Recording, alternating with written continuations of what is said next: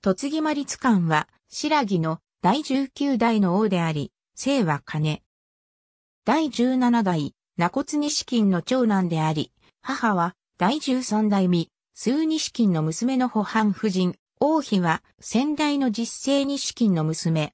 417年5月に先代の実世錦を殺し、自ら王位についた。三国維持王歴では別名を内忠王と伝える。高栗と後へ人質として送られていた王帝が即位、翌年に帰国すると、徐々に高栗からの従属的体制を脱そうとした。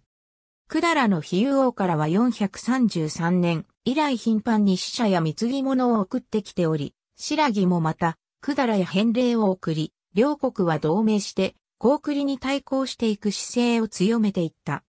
450年7月には、高栗の辺境の主張が執事家のあたりで狩猟をしていたところを、南出らの城主の三次家が吸収して殺害し、にわかに、高栗との緊張を招いた。怒った高栗の長寿王は、白木の北西部国境に軍を派遣してきたが、白木では丁寧な謝罪を行って一旦は高栗は退却した。この後、高栗が454年8月に白木北部辺境に侵入してきたこともあり、455年10月に、高栗が百済に侵入した際には、栃木マリツ官は百済への救援兵を発した。また、和との交戦もしばしば発生している。431年4月、440年6月、444年4月と和人の侵入を受けており、444年の侵入の際には、首都近城を10日余りも包囲された。食料が尽きて、引き上げようとした和軍に対し、軍神の反対を聞かずに追撃して、数千機の将兵の大半を失った。在位42年にして458年8月に死去した。埋葬地は伝わらない。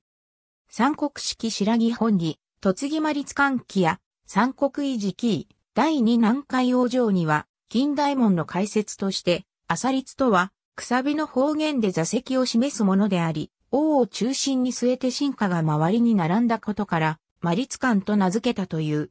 他に、朝律の主張とする説や白木人名の尊称語尾とする説、高栗の官位のマリシを源流とする説などがある。